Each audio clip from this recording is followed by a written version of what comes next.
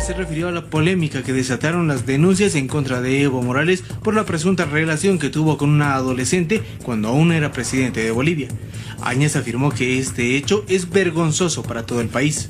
Como mujer, pero sobre todo como madre, yo me siento tan indignada con esos hechos y que tengan que salir ahora a la luz pública uno tras otro.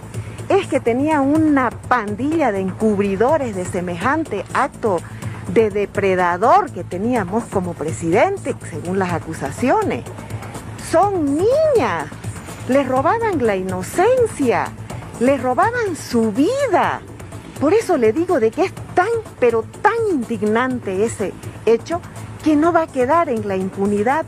La primera mandataria del Estado pidió al Ministerio Público que se investiguen todas estas denuncias. No pueden pues ser cómplices de una persona con, con ese tipo de desviaciones. Y es demasiado abominable el hecho que está en toda la prensa internacional y en todo el mundo.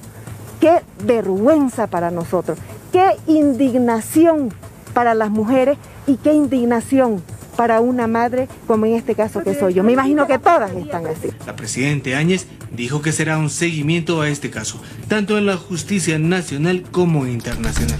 Sexta línea. Sexta línea. Noticias de Bolivia.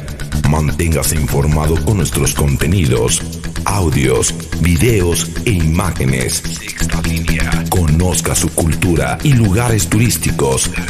Sexta línea. Suscríbase a nuestro canal de YouTube.